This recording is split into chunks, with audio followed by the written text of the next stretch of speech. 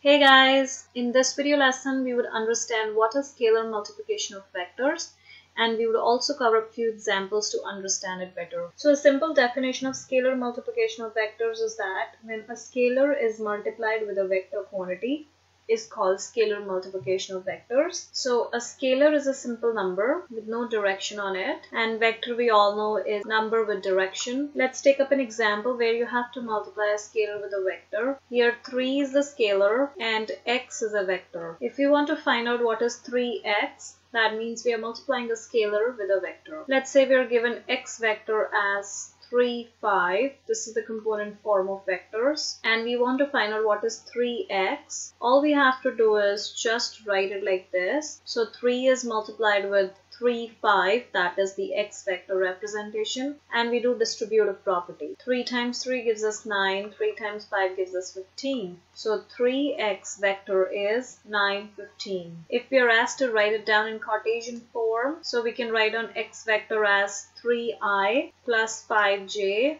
you can write it with a vector sign or a cap sign. So 3x would be 3 multiplied by 3i plus 5j and from here we would get 9i plus 15j and that's our 3x vector. So be the question given in component form or it's given in Cartesian form, we follow the same steps. We are actually doing distributive property. So here also we are multiplying 3 with 3, 3 with 5 and we're doing distributive property. Now if we're supposed to find out the magnitude of 3x vector, we can pick any of these forms. Magnitude of 9 and 15 would be 9 square plus 15 square square root which is 81 plus 225 which gives us square root of 306. Because we do not know what are the units, we just put square root 306 units. So let's summarize quickly. If you want to find out a scalar multiplied with a vector value, you're given a scalar, 3 is a scalar, x is a vector. If you're given a vector in component form, that is the coordinates given for a vector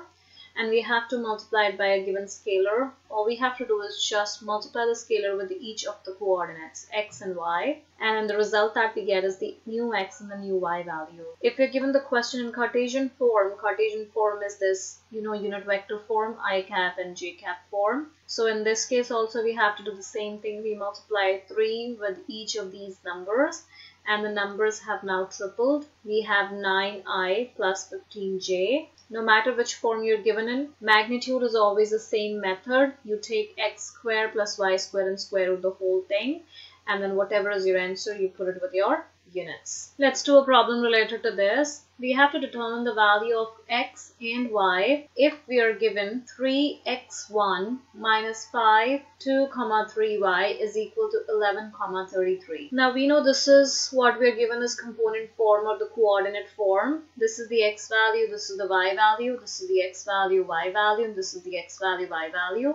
So these are technically the vectors and these are the scalars. 3 is a scalar, 5 is a scalar. We do not have a scalar here. So first of all, we would multiply the scalar with the vector and we will write it down in simplified form and we get 3x. 3 times 1 is 3 minus 5 times 2 is 10. 3 times 5 is 15 we are taking 5 as a positive right now because I'm putting this negative sign here as is. So 5 times 2 is 10, 5 times 3 is 15y equal to 1133. Now whenever we have to solve for x and y, all we have to do is just separate out x and y values. So this is x, this is x, and this is x. So we would separate out the x coordinates and we would have 3x minus 10 equal to 11. Similarly, we can separate out the y coordinates and we can get 3 minus 15y equal to 33. Now we can solve for x here. So that would be equal to, we can move this first on the other side. 11 plus 10, which is 21. x value is equal to 7. Similarly here we can isolate y. So we would get 33 minus 3 which is 30 minus 15y. y is equal to 30 divided by minus 15 which gives us a negative 2. So from here we got the x value to be 7 and we got the y value to be negative 2 and we have solved the problem. Let's do another question for the sake of practice. If you're given vector A, which is minus i plus 2j plus k, this is a Cartesian form.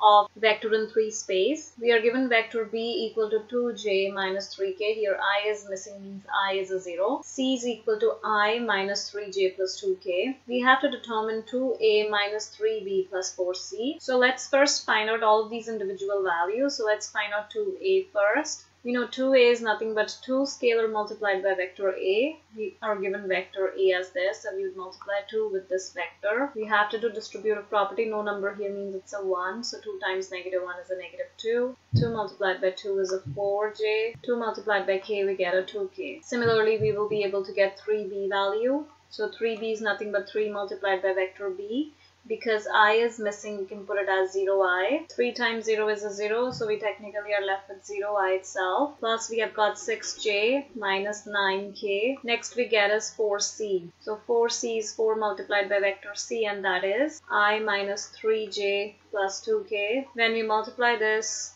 we get 4i minus 12j plus 8k. So now all we have to do is just do 2a vector minus 3b vector plus 4c vector. So we would be subtracting this and this and we would be adding that to this. This is what we're supposed to solve. 2a is minus 2i plus 4j plus 2k minus 3b is 0i plus 6j minus 9k and plus 4c is 4i minus 12j plus 8k. We are always supposed to collect our like terms. So i, i and i together. Similarly j, j, j will put together and k values will put together. But before doing that, we'll work with the sign first. Here we have collected the i values, here we have collected the j values, and here we have collected all the k values. So when we simplify this, minus 2 minus 0 plus 4 gives us a 2i. 4 minus 6 is a minus 2 minus 12 is a negative 14j. 2 plus 9 is 11 plus 8 is 19k. So the final answer in Cartesian form is 2i minus 14j plus 19k. If you're supposed to write this answer in component 4, we just have to put it like this. And this is how we multiply scalars with vectors.